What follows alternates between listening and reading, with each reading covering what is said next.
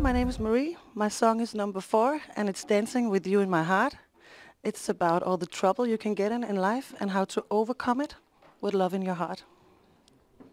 Oh, I feel like dancing with, I feel like dancing with my son. I feel like dancing with you guys tomorrow. Um, but this song for me, personally, it's about my song and this song is for him.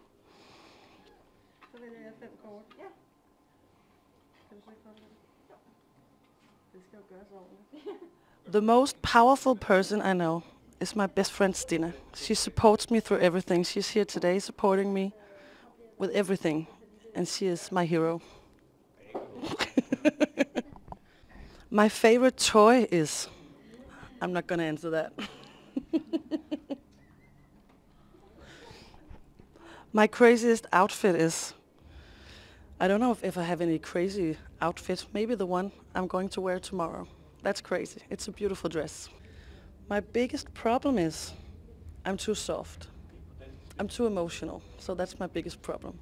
So I can cry when I don't want to. yeah. but I also think it's my biggest strength, so it's okay.